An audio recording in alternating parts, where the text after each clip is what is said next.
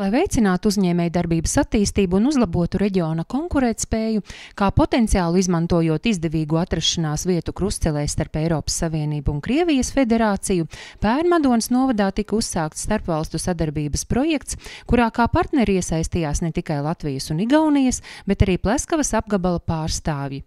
Šobrīd vērienīgā teju 400 tūkstošus eiro vērtā projekta organizatori neslēpj gandarījumu, ka ņemot vērā Eiropas Savienības un Krievijas attiecību sāsināšanu, samazināšanos, projekts ir izdevies un tuvojas veiksmīgam nobeigumam. Lielos vilcienos projekts tiešām tuvojas noslēgumam, un tas, ko mēs eh, no tādām projekta tiešajām konkrētajiem mērķiem, mēs esam jau pārsvarā daudz ko realizējuši. Vides monitors pilsētas centrālajā laukumā, izstāžu aprīkojums, kā arī trīspusējas Latvijas, Igaunijas un Krievijas uzņēmēju vizītes un dalības starptautiskos fórumos ir tikai daļa no aktivitātēm, kas īstenotas projekta sociāla-ekonomiskās attīstības, biznesa un sadarbības veicināšanas pierobežas reģionos ietvaros. Projekta organizatori uzsver, ka īpaši aktīvi visā projekta laikā bijuši tieši partneri no Krievijas puses, aicinot mūsu uzņēmējus piedalīties arī ārpus projekta esošos pasākumos.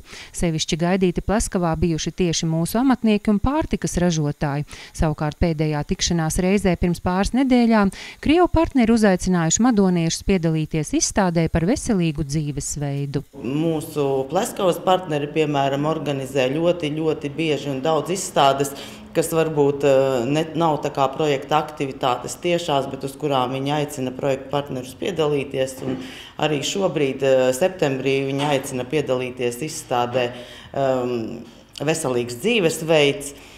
Un tas, kas ir projektā izdarīts, tātad šīs izstādes, šie kopīgie pasākumi, semināri, biznesa, biznesa tikšanās, eh, tas viss jau ir jau pārsvarā ir realizēts. Organizatori atzīst, ka par laimi starpvalstu projekts norisinājies gludi un lielā politika šīs aktivitātes nav ietekmējusi. Krievu partneri ir bijuši atvērti sadarbībai un nu jau var prognozēt, ka atlikušie pasākumi noritēs kā plānots. Vairums aktivitāšu ir realizētas un palicis ir nu, praktiski uh, projekta noslēgums. Un, un, un, Un mūsu Krievijas partneris ir ļoti intensīvi un aktīvi strādā tieši uzņēmējdarbības, šo nu, pierobežas reģionu uzņēmējdarbības veicināšanā. Kā paliekošs uzņēmējdarbības sakaru pierādījums ir arī kopīgi izstrādātā mājaslapa, kur ik vienas valsts uzņēmējs var iegūt gan informāciju, gan jaunus partnerus. Tas ir, nu, ja tā vienkāršot runājam, kaut kas līdzīgs kā draugiem vai LinkedIn, kur satiekas biznesa partneri